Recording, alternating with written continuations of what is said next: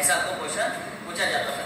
जा सकता है तो नाम रखना मैडम उसका tetra ethyl lead it act as anti knocking okay agent it is use in what octane number for what diesel और पेट्रोल पेट्रोल ओके समझो?